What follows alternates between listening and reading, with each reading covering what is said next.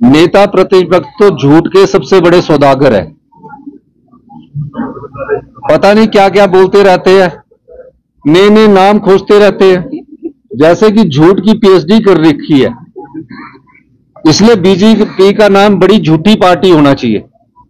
पता नहीं कहाँ से कभी टॉयलेट टैक्स की बात करते जो कहीं है ही नहीं। सोचा। कभी बोलते खेल टैक्स है। अब सबसे बड़े झूठे पर झूठ का टैक्स लगना चाहिए।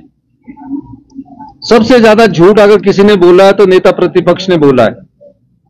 पचहत्तर लाख लोग परिवार हिमाचल प्रदेश में रहते हैं, किसी के पास आज टॉयलेट का बिल लिया गया है।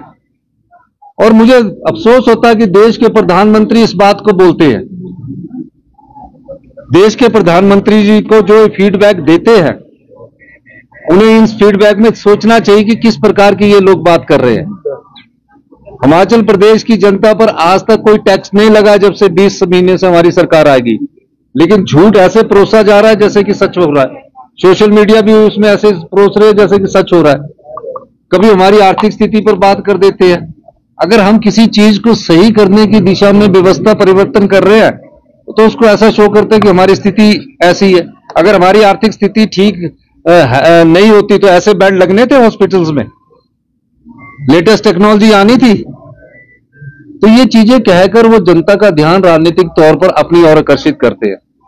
हिमाचल प्रदेश की जनता पर किसी प्रकार का कोई टैक्स लगाने की कोई ज़रूरत नहीं है। हमारे जो इन्वेस्टमेंट ड्रेन हुआ है, जो हमारी संपदा को पिछली भारतीय जनता पार्टी की सरकार ने, जो जनता, हिमाचल प्रदेश की जनता की संपदा है, उसको लूटा है और लुटाया है।